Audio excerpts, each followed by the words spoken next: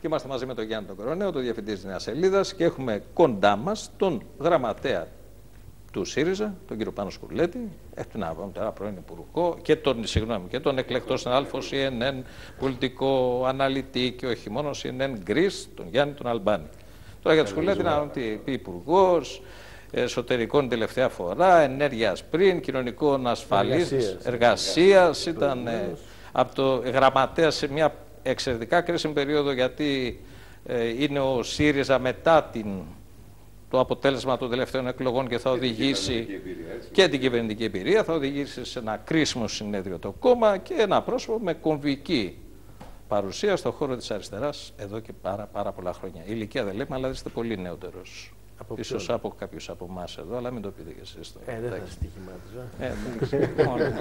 Ε, λοιπόν, κύριε Αλμπάνη, θα ξεκινήσω εγώ. Καταρχάς, εσείς θα ξεκινήσετε να δώσουμε την καλησπέρα μας στο δίκτυο, στα ενημερωτικά τμήματα των ε, περιφερειακών τηλεοπτικών σταθμών με τα οποία συνεργαζόμαστε και να πούμε και στους φίλους τηλεθεατές ότι αυτή η εκπομπή μεταδίδεται 12 με 2 τη νύχτα. Γιάννης Αλμπάνης.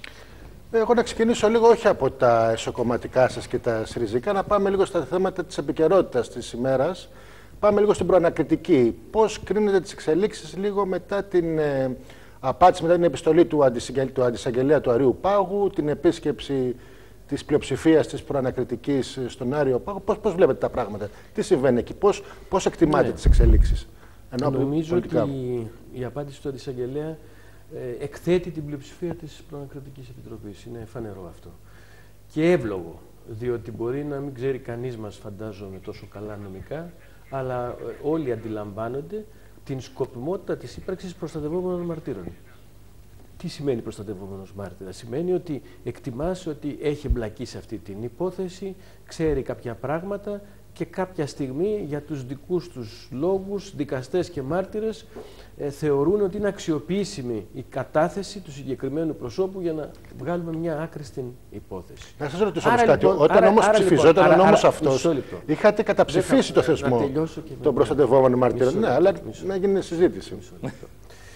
Λοιπόν, ε, και επειδή μιλάμε για μια υπόθεση ε, μεγάλη, βάθους, είναι πολλά τα λεφτά Άρη, ναι. που λέει και στην ταινία. Αντιλαμβάνεστε ότι ε, οι συγκεκριμένα, τα συγκεκριμένα πρόσωπα ε, είναι εκτεθειμένοι σε πολλαπλούς κινδύνους. Αυτή είναι η σκοπιμότητα της προστασίας. Δεν μπορείς λοιπόν από τη στιγμή που υπάρχει αυτό το πλαίσιο με τα υπέρ και τα κατά. Αυτό απαντάει στο προηγούμενο ερώτημα. Υπάρχει αυτό το πλαίσιο. Άρα είμαστε υποχρεωμένοι να το αποδεχτούμε να λειτουργήσουμε με σεβασμό στις διατάξεις για τους προστατευόμενους μάρτυρες. Δεν μπορεί λοιπόν να έρχονται και ουσιαστικά να κάνουν ένα μπούλινγκ, μια τρομοκρατία σε αυτούς τους ανθρώπους.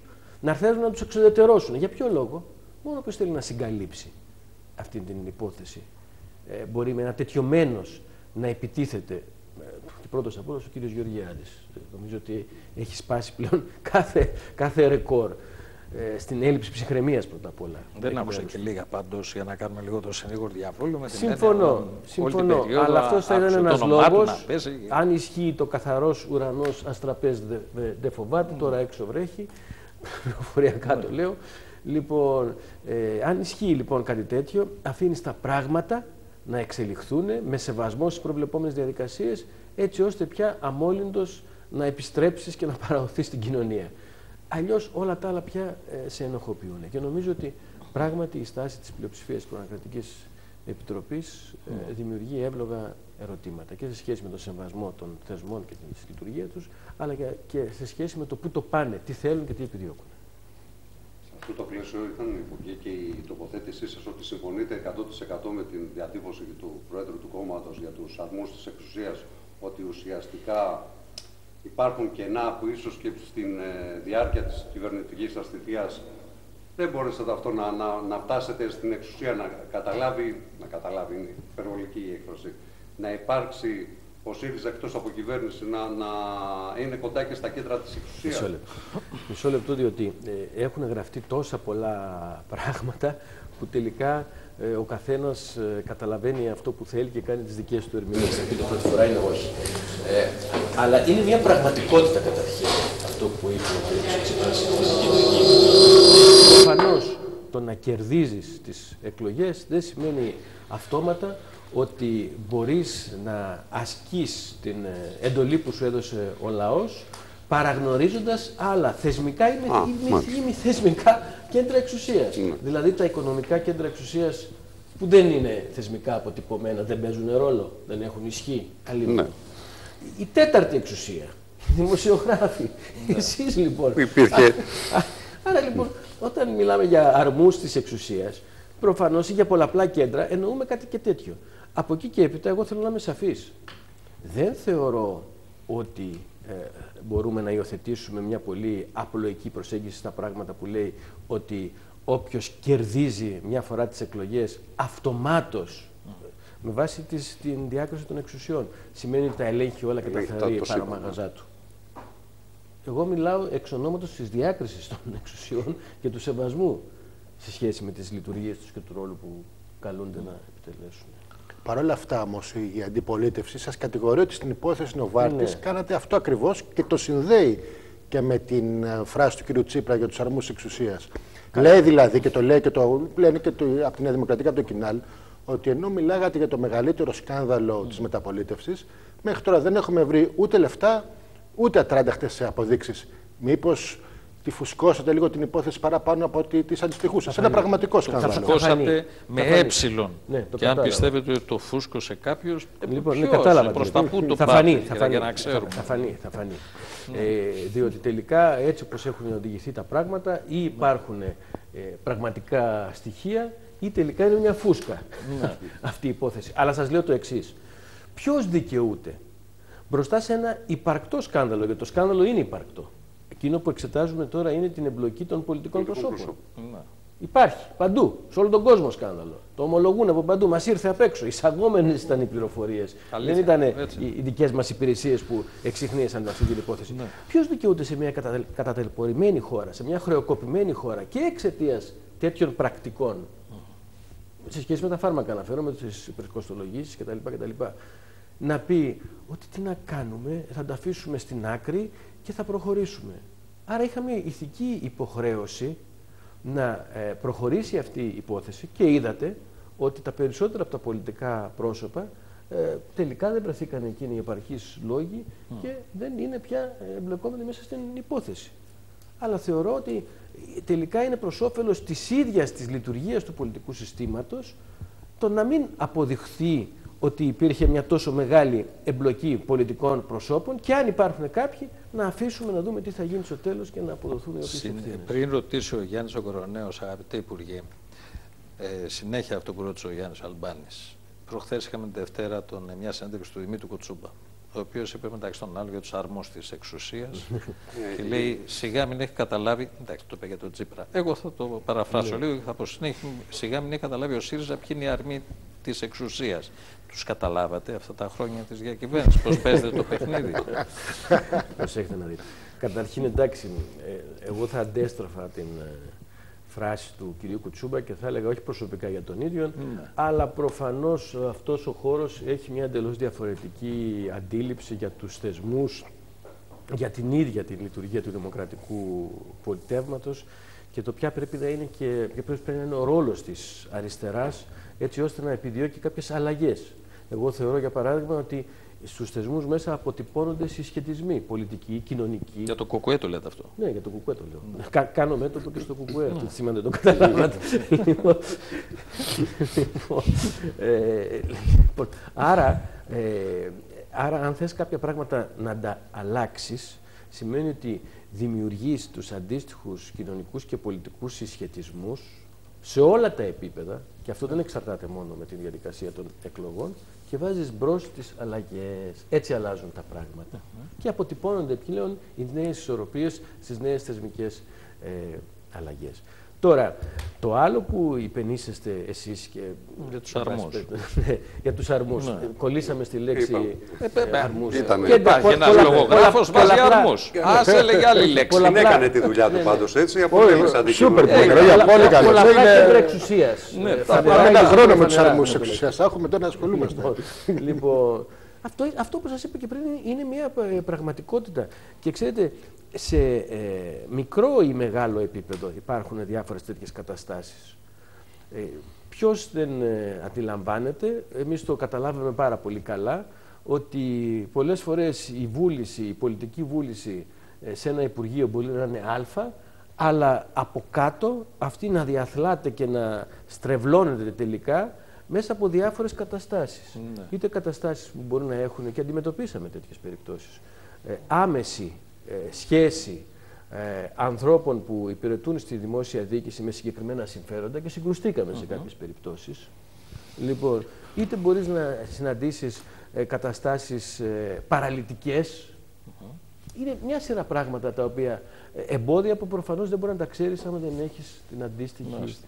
Εμπειρία. Αυτό είναι το μίνιμουμ. Και, πά- και πάμε από εκεί πέρα και πηγαίνουμε και σε άλλες καταστάσεις. Πολύ εγώ, πιο ναι. σοβαρές και μεγάλες. Αν τελειώσαμε με τους αρμούς, εντάξει, επειδή αναφερθήκαμε και σε κομμάτια της που έχουν να κάνουν με την κυβερνητική εμπειρία του ΣΥΡΙΖΑ Υπουργείου. Τελειώσαμε, ήθελα μετά θα να, γίνουμε να το οικοδόμοι. δούμε και στη συνέχεια. Εγώ θα ήθελα έτσι να μείνουμε κυρίως σε αυτό που είπε και ο συνάδελφος ο Γιάννης Αλμπάνης, της επικαιρότητας ζητήματα. Αυτά, αυτό που είναι εδώ και καιρό βέβαια στην επικαιρότητα και απασχολεί την ελληνική κοινωνία, είναι ζήτημα που πρέπει να το αντιμετωπίσουμε, είναι το προσφυγικό μεταναστευτικό. Το διαχειριστήκατε κι εσείς σε κάποια φάση και σε μεγάλο βαθμό. Τότε υπάρχουν διαφορές με το σήμερα, ήταν ανοιχτά τα σύνορα. Ε, έχετε υποστεί κριτική για το πώς το διαχειριστήκατε και τώρα το αντιμετωπίζει και η Νέα Δημοκρατία, η σημερινή κυβέρνηση του κ. Μητσοτάκη.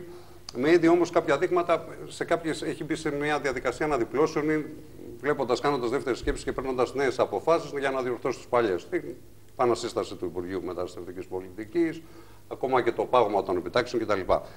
Πώς τις βλέπετε αυτές τις ενέργειες και Ναι. πώς, ε, επειδή έχετε και την εμπειρία, πώς θα μπορούσε να αντιμετωπιστεί με τις συγκεκριμένες, με, τις δεδομένες, ε, με τα δεδομένα προβλήματα ε, αυτό το προσφυγικό έτσι όπως έρχεται, με, με ροές ε, οι οποίες ουσιαστικά ελέγχονται από τον Ερντογάν ή ως ένα σημείο από τον Α, Ερντογάν. Ναι, ε, ε, ροές λοιπόν μπορεί να ελέγχονται ως ένα σημείο, όπως Ναι, λέτε, από ως τον ένα Ερντογάν, αλλά το προσφυγικό και το μεταναστευτικό Είναι- δεν, τον, γεν- δεν το γεννάει ο Ερντογάν. Ακριβώς.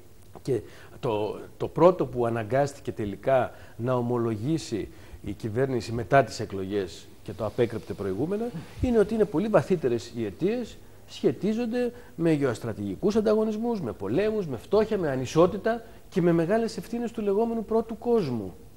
Διότι αυτονών η διαχείριση έχει δημιουργήσει τις βαθύτερες αιτίες των μεταναστευτικών και των προσφυγικών ροών. Άρα, αν το, όλοι συμφωνούμε και υπάρχει αυτός ο κοινός παρανομαστής, τότε μπορούμε να αρχίσουμε να ανοιχνεύουμε μια πολιτική η οποία θα είναι πιο λογική, πιο ρεαλιστική και λιγότερο άδικη. Εδώ βέβαια δεν έχουμε από την κυβέρνηση μια τέτοια ε, προσέγγιση. Έχουμε μια αντιφατική πολιτική, μια επικίνδυνη πολιτική, η οποία παροξύνει το ζήτημα και που σε πολλές φορές αναγκάζεται στις περισσότερες να κάνει ισορροπίες με τον ίδιο της τον εαυτό. Με φωνές από το εσωτερικό της και από, την, από ένα κομμάτι της εκλογικής της αγοράς, του, την οποία την διαπαιδαγώγησε ε, μέσα, σε- μέσα, μέσα στη βάση μιας αντίληψης ρατσιστικής, αντιμεταναστευτικής, ε, με μυσαλόδοξα κηρύγματα. Θυμόσαστε όλες αυτές τις κραυγές και τις ε, απλοϊκές και αφελείς προσεγγίσεις ότι ο ΣΥΡΙΖΑ λειτουργεί ως μαγνήτης για τους απαντοχού κατατρεγμένους και ήρθε η πραγματικότητα τελικά για να γελιοποιήσει αυτή την, και να σαρώσει αυτή την επιχειρηματολογία. Και έχουμε αυ- μια σειρά αντιφατικές κινήσεις. Πρώτα απ' όλα, αναφερθήκατε στην ιστορία του Υπουργείου Μεταναστευτικής Πολιτικής. Στους 4-5 υπουργούς οι οποίοι. Η αλήθεια ανέλαβαν, δεν έχουν ε, γίνει. Εκεί με- τα με τη- πράγματα με δεν τη έχουν σειρά. γίνει καθόλου καλά. Είναι αλήθεια. ε, Βέβαια δεν έχουν γίνει καλά. Και προσέχτε να δείτε. Και τώρα, αντί με έναν αποφασιστικό τρόπο να δράσει σε δύο επίπεδα. Πρώτα απ' όλα, α- ε, απέναντι στην Ευρώπη. Ε, Επιζητώντας σε αυτό που ονομάζουμε αλληλεγγύη να θέσει με επιχειρήματα ε, τα, το, το ζήτημα και να ζητήσει να αναλάβουν το μερίδιο της ευθύνης τους.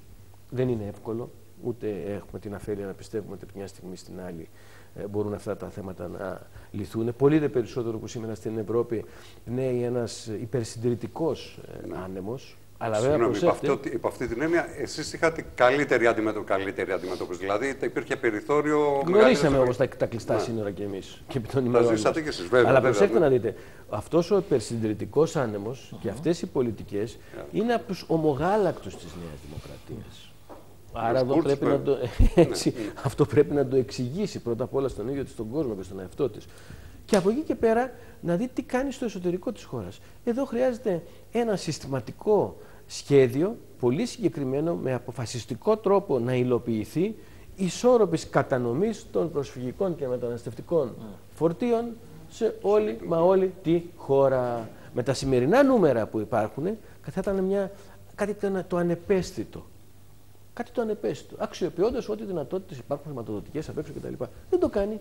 Τι κάνει; Ε, υπάρχουν στα νησιά που υπάρχει αυτός ο υπερπληθυσμός, χτίζει κέντρα κλειστά, φυλακές ουσιαστικά, χτίζει, παροξύνει το ζήτημα και πέστε μου λοιπόν, αν βάλεις 5.000 ανθρώπους κλεισμένους, τι φαντάζεστε, κάθε ηλικίας προέλευσης διαφορετικών ας πούμε ε, ε, νοοτροπιών κτλ. Τι φαντάζεστε και τους κλειδώσεις μέσα, τι θα κάνεις; Άμα οξύνεται το πρόβλημα. Δεν γιατί... βάζω τη διάσταση ότι αυτό είναι και έξω από τις διεθνείς συνθήκες, που είναι πολύ σημαντικό. Ναι, θα ε, μα καταγγείλουν. Υπήρχε και γίνουμε, ο πρόεδρος του Ευρωκοινοβουλίου. Θα γίνουμε περιγέλαστοι. Άφησε κάποιες αιχμές και για το πλωτό φράγμα κλπ. Αλλά Καλά, άμα... το πλωτό φράγμα είναι ε, πλωτή αρπαχτή από ό,τι φαίνεται. Συγγνώμη.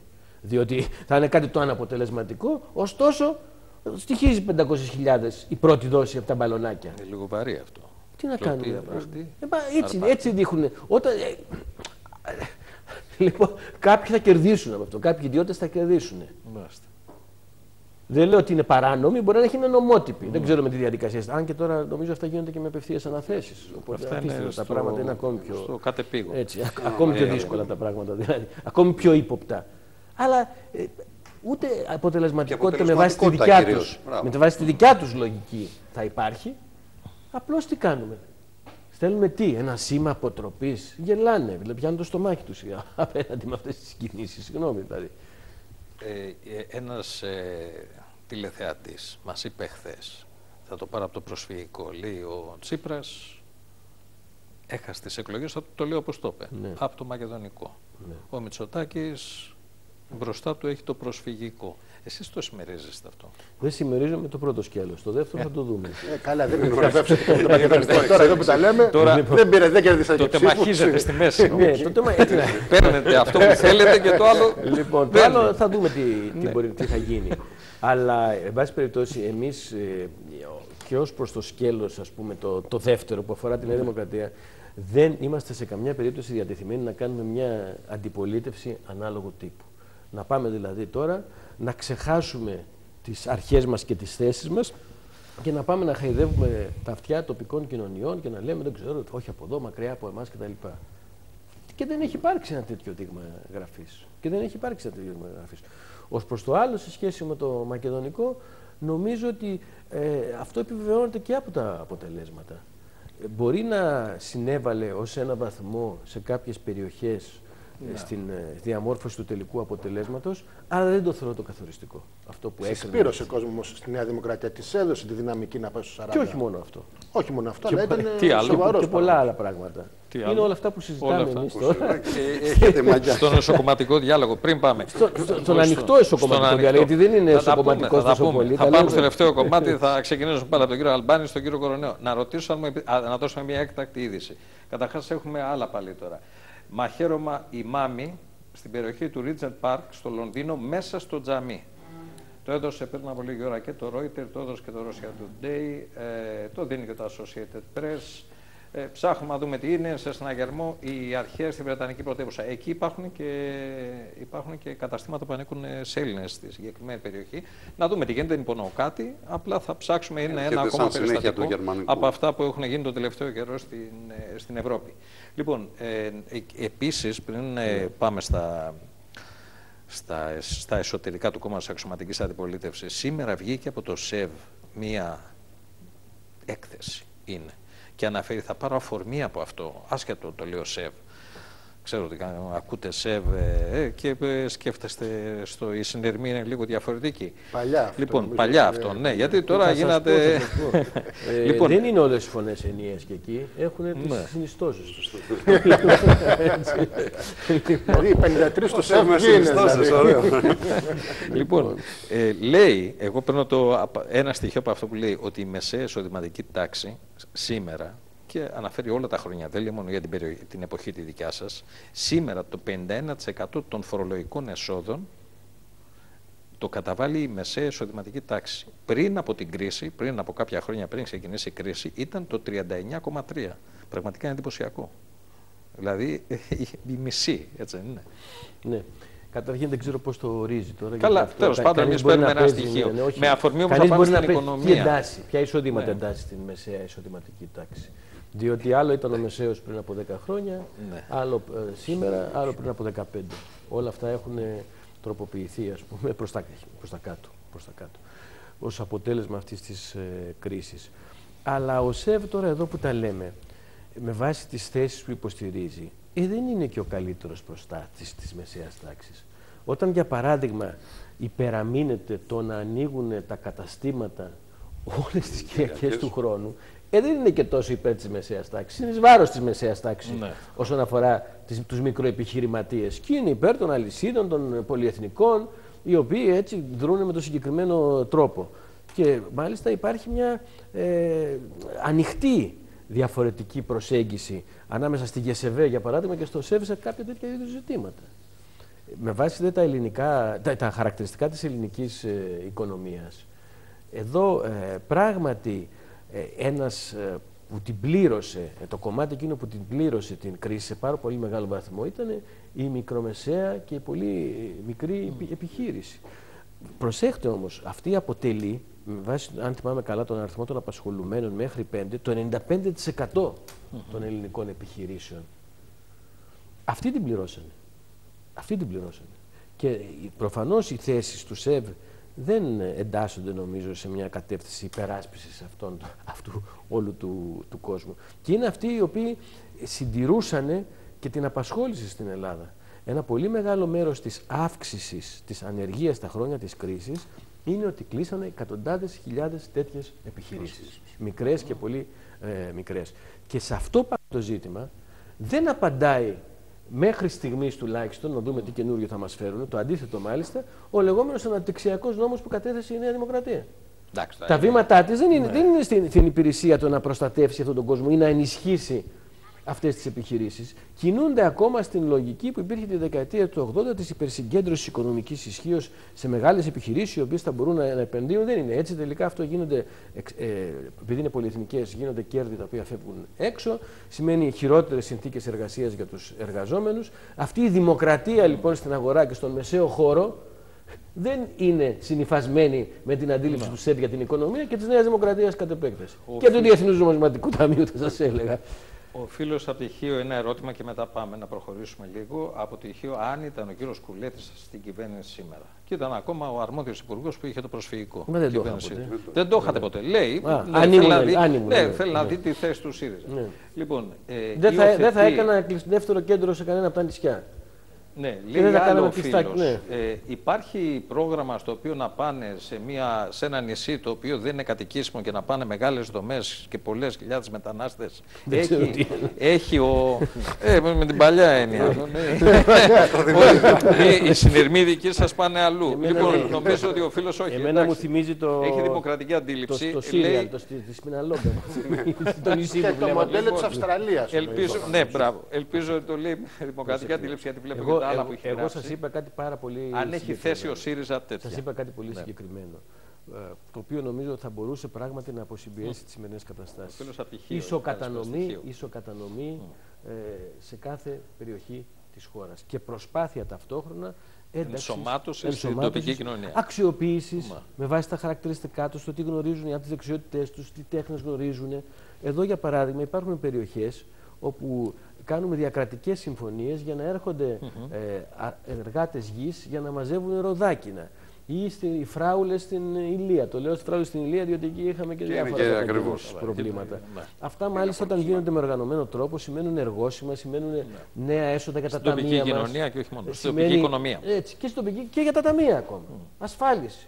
Και ξέρετε κάτι, είναι τόσο πολλά μεγάλα τα κέρδη σε κάποιες περιοχές που δεν επιβαρύνουν το κόστος. Ίσα ίσα. Βοηθούν όλους. Ένας τέτοιος σχεδιασμός χρειάζεται. Αλλά εδώ βλέπετε ότι κινούμαστε ας πούμε, με άλλου είδους. Οι φίλοι από την Κεσαριανή, αν έρχονται συνέχεια, αν έρχεται συνέχεια κόσμος, προσφυγικός, παύλα μεταναστευτικός, πώς θα αντιμετωπιστεί το πρόβλημα; να ασχοληθούμε με βάση τον κόσμο που έχει έρθει και να δούμε τι θα γίνει. Το αν γίνει και Δευτέρα παρουσία Υπουργέ, προφανώς ποιο δεν λεπτό; θα μπορέσουμε Σήμερα, να, να τα γιατί μιλάμε για το αντιμετωπίσουμε. σήμερα. Σήμερα, Ναι, σήμερα, λοιπόν- τις τελευταίες 24 ώρες έχουν έρθει, το είπαμε και στο πρώτο κομμάτι, περίπου 300 άνθρωποι. Δύο περιστατικά είναι στη Σάμο, έχουν φτάσει 107. Είναι, είναι σημαντικά τα νούμερα. Βεβαίως. Ε, και υπάρχει- προσέξτε, ακόμη ο καιρός δεν έχει φτιάξει. Ο καιρός δεν έχει φτιάξει. έτσι, Υπάρχει ακριβώς. η επικαιρότητα, γιατί πολλά είναι συνάρτηση και των μέσων μαζικής ενημέρωσης. Η επικαιρότητα είναι αλλού. Δεν αναφέρομαι αυτό στο προσφυγικό και έχουν έρθει 300 άνθρωποι σε 24 ώρες. Δηλαδή στη Λέσβο 47 το νησί έχει πάρει τους λιγότερους, η Σάμος 107, στην Γκο άλλο κανάλι που δεν είχε πρόσφατα. Δηλαδή είναι σημα... Αυτό σημαίνει ότι μπορεί. Κατεβαίνει. Είναι 1,5 εκατομμύριο έχουμε κάνει έρευνα με διεθνές πρακτορείο σε δρυμό έξω από τη Σμύρνη. Και εμείς τότε λοιπόν θα πρέπει, για να δούμε και ε, τις βαθύτερες αιτίες του ζητήματος ως χώρα, να μην αθρίζουμε τη φωνή μας στα ζητήματα της εξωτερικής πολιτικής με εκείνες τις δυνάμεις που κάνουν κινήσει και ενδυναμώνουν και ανανεώνουν τα μεταναστευτικά ε, ρεύματα, κύματα και τα προσφυγικά κύματα. Δηλαδή, εγώ δεν μπορώ να καταλάβω πώς ε, και με ποια νομιμοποίηση και ποια λογική εμείς στείλαμε, παρόλο που δεν συνδέεται άμεσα με το Ναι. προσφυγικό, αλλά δείχνει μια λογική ας πούμε εμπλοκή της χώρας σε περιπέτειες, στείλαμε τους ε, Patriot στη Σαουδική Αραβία. Να υπερασπιστούν τι, με πιανού την απόφαση. Δεν είναι μια επικίνδυνη αυτή, πολύ επικίνδυνη πράξη. Κύριε Σκουλέτη, να σας ρωτήσω κάτι στη συνέχεια αυτού Κύριε που Αλμπάνη. λέτε. Και εγώ, ναι, κύριε, ναι, Γιάννη, ναι, Εγώ θα ρώτα κακία τώρα. Θα λέγα, θα σας έλεγα το μια- κόψαμε το Γιάννη. Μπορούμε και κακίες να ακούμε και καλά. Η ερώτησή μου είναι η εξής. Επειδή λέμε, είπατε και για τους ακροδεξιούς Ευρωπαίους και τα αυτά. Όχι γενικά. Για Όχι, τους- γενικά τους για, για, Ευρωπαίους. κυβερ, για κυβερνήσεις και για... Υπάρχει ένα θέμα όμως. Ότι μεν οι Ευρωπαίοι δεν τηρούν τις δεσμεύσεις τους απέναντι στην Ελλάδα και κυρίως απέναντι στους πρόσφυγες και τα ανθρώπινα δικαιώματα που τόσο επικαλούνται. Δεν κάνουν ούτε οικογενειακές επανενώσεις, δεν δέχονται μετεγκαταστάσεις. Την ίδια ώρα και με εσάς, σε έναν βαθμό και με τη σημερινή κυβέρνηση, η Ελλάδα τηρεί κατά γράμμα τη συμφωνία με την ε, Τουρκία και κα- εφαρμόζει το γεωγραφικό αποκλεισμό που φέρνει το διέξοδο αυτό στα νησιά. Μήπως είναι η ώρα να ζητήσει και η Ελλάδα την αναθεώρηση αυτής Δεν της ξέρω συμφωνίας. κατά πόσο Ή κατά- τουλάχιστον. κατά- ναι, ναι. Ξέρω ότι εσεί δεν μπορείτε να το απαντήσετε ευθέως αυτό. Ή τουλάχιστον να πούμε ότι δεν γίνεται να θυσιαστούν τα νησιά για μια συμφωνία η οποία δεν τηρείται Δεν από ξέρω τους αν ήταν και υπόλοιπους. τόσο ακριβώς το πνεύμα της συμφωνίας και το γράμμα αυτό που λέτε. Ο γεωγραφικός τώρα- αποκλεισμός προβλέπεται Ναι, στα ναι, νησιά. ναι. Και σε κάθε περίπτωση, εγώ λέω λοιπόν να το σπάσουμε αυτό. Να το σπα... να μην Επομένως- σεβαστούμε λοιπόν αυτό. Δηλαδή είναι και θέμα ερμηνείας. Και το λέω με τα λόγου γνώσεως, δεν το λέω ε, ελαφρά την καρδία.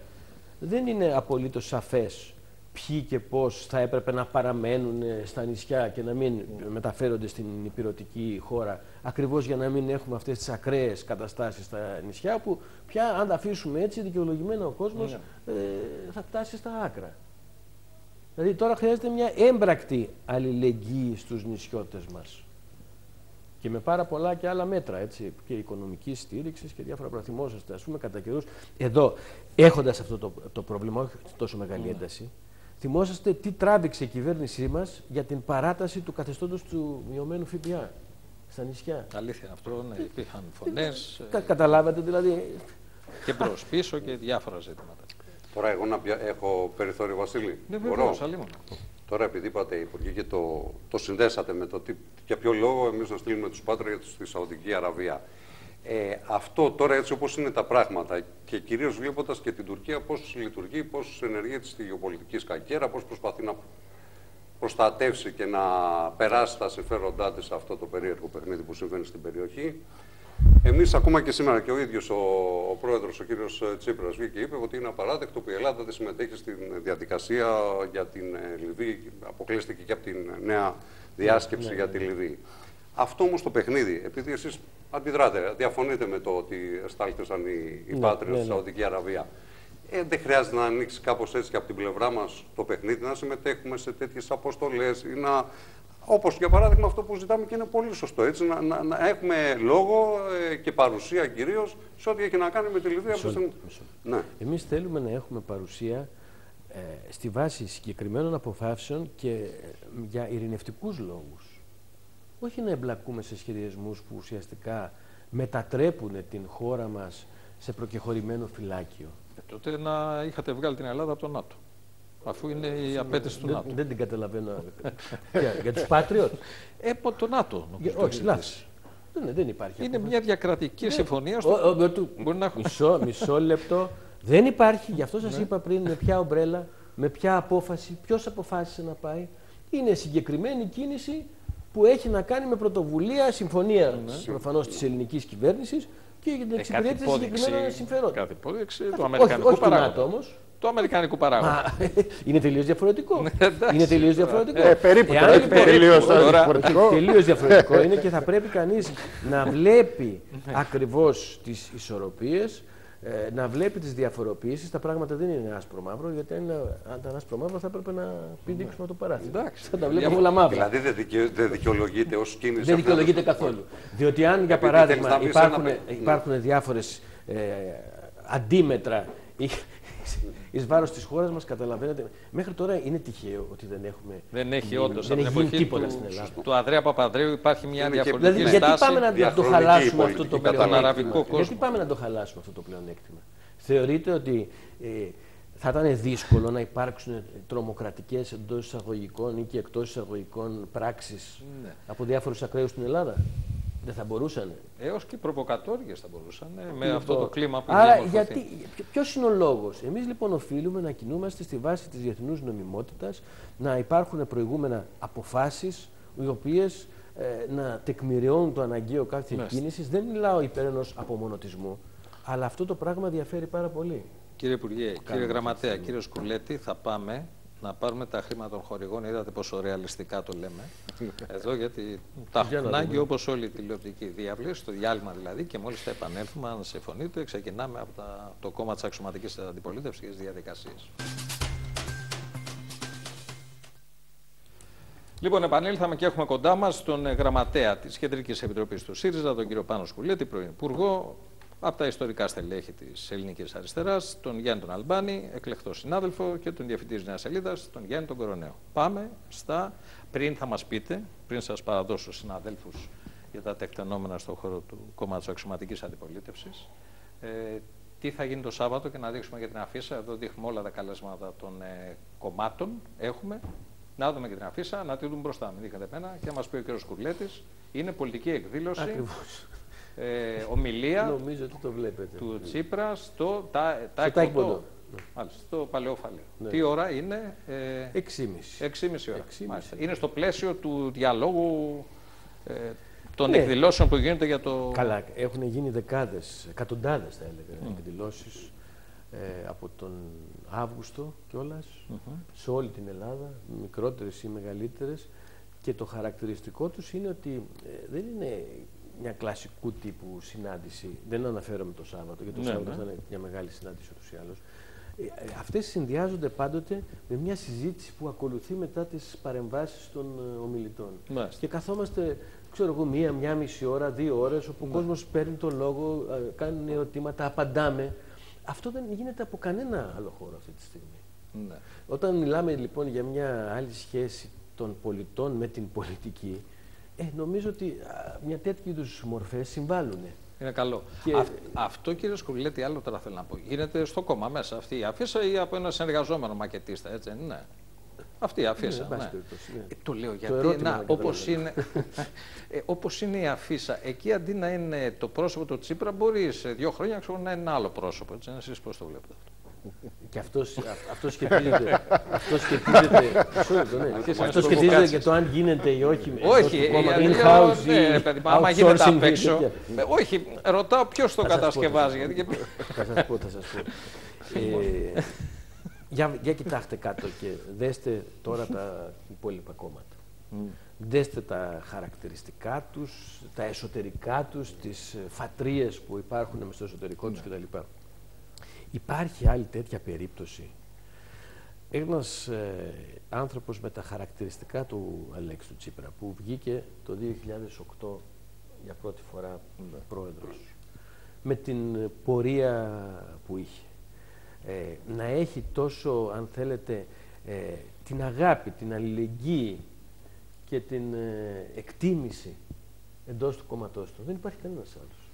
Δεν υπάρχει. Και δεν νομίζω ότι αυτό έχει ανατραπεί Δηλαδή η παρουσία του Αλέξη του Τσίπρα είναι ένα στοιχείο ε, πραγματικά πολιτικής ενότητας στον σημερινό ΣΥΡΙΖΑ, όπως ήταν όλα τα προηγούμενα χρόνια.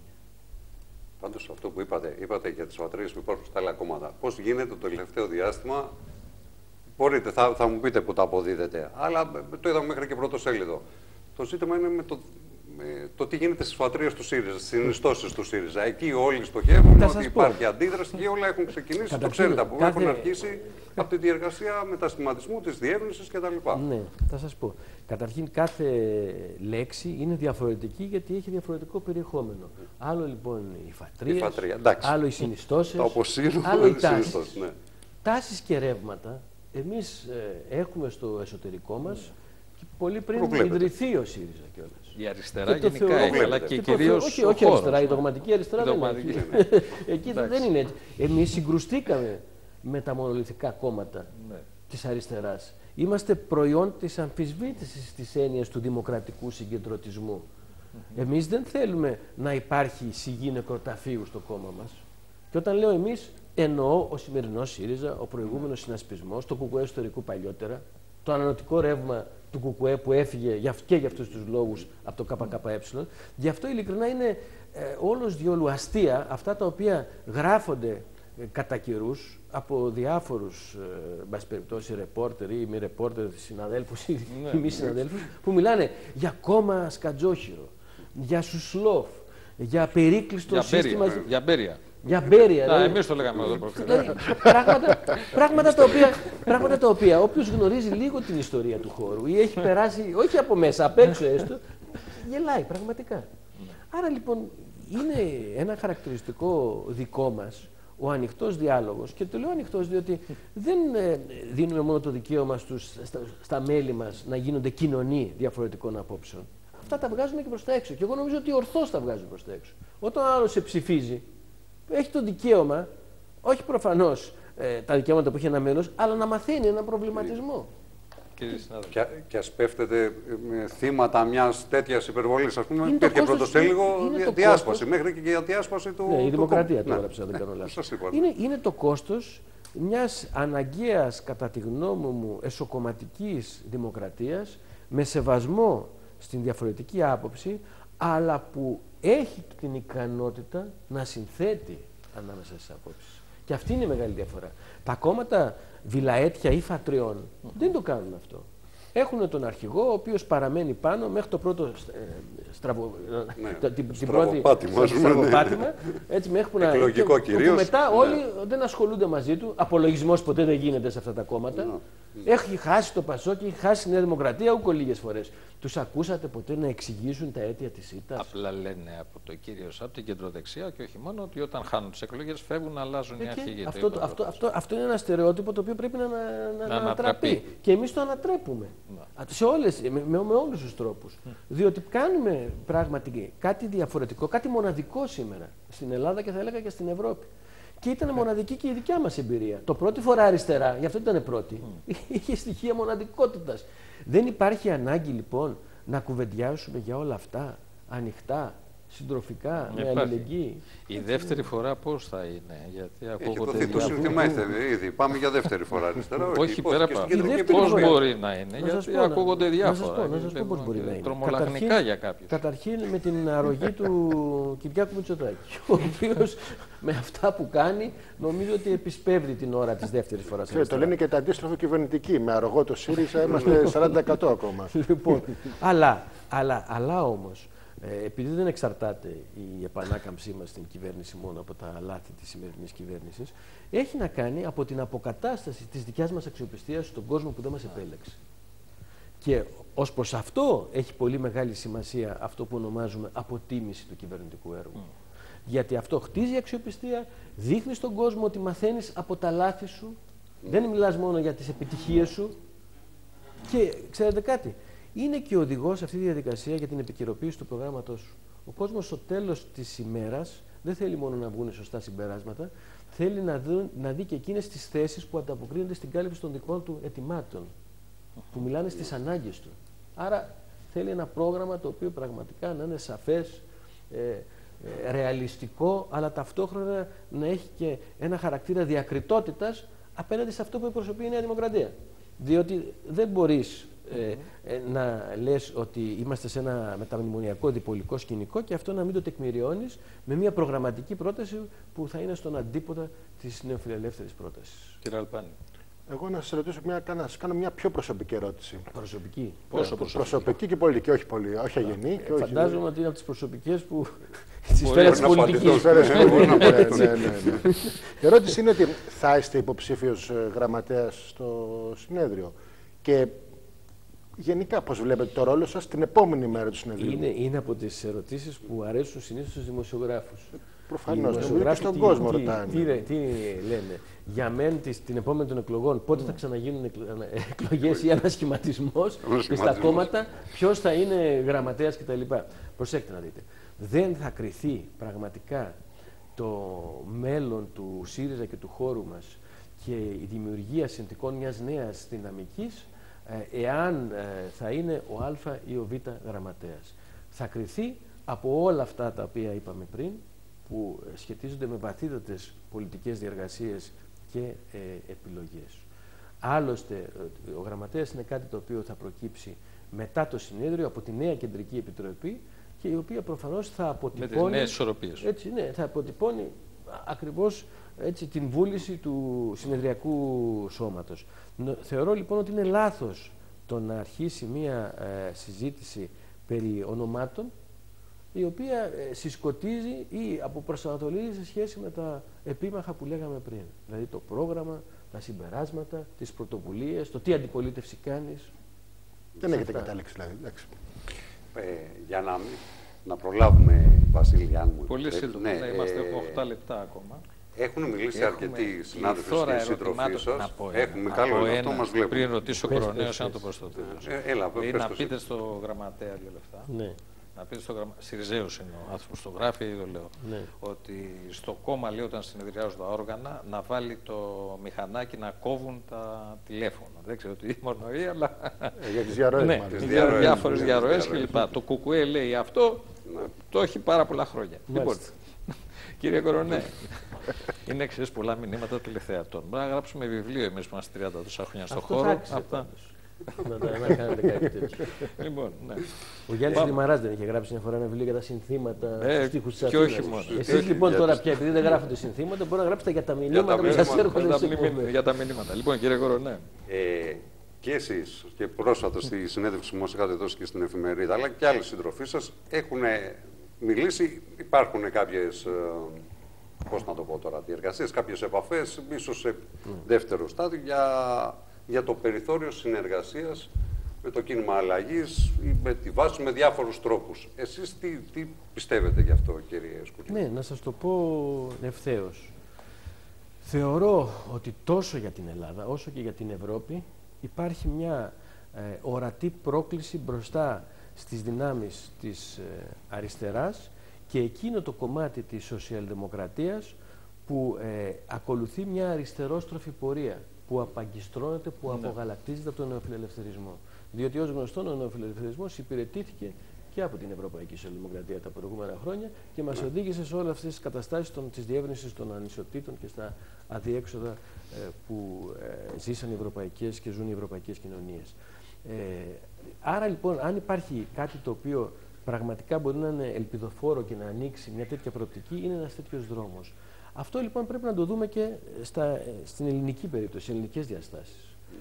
Ε, δυστυχώς τα προηγούμενα χρόνια ε, την ε, μνημονιακή πολιτική, τις ε, νεοφιλελεύθερες ε, προτάσεις, τις ε, ακολουθήσαν, τις ασπάστηκαν, τις υπηρετήσαν από κοινού η Νέα Δημοκρατία και το ΠΑΣΟΚ.